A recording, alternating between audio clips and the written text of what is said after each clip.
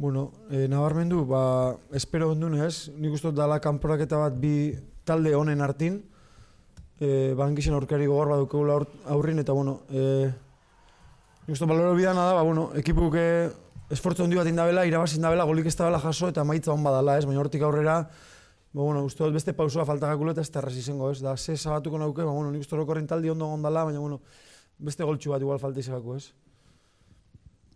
Eh, nole, Gabon, nola ikusten duzu kanporak eta orain? Bueno, eh, egixe da maitza hon bat izen dela, ez? Eh, irabazi duguleko eta golik ez duguleko jaso, ez? Baina, bueno, ondo beste pausua falta da, demostrada betalde hona dela, bat ez be, eh, aukera minimo bat emon eskero arriskutzu di, eta, bueno, ondo joan sufriduen biko da, baina, bueno, nik uste dute maitza hon bat lortu dugule bintzet.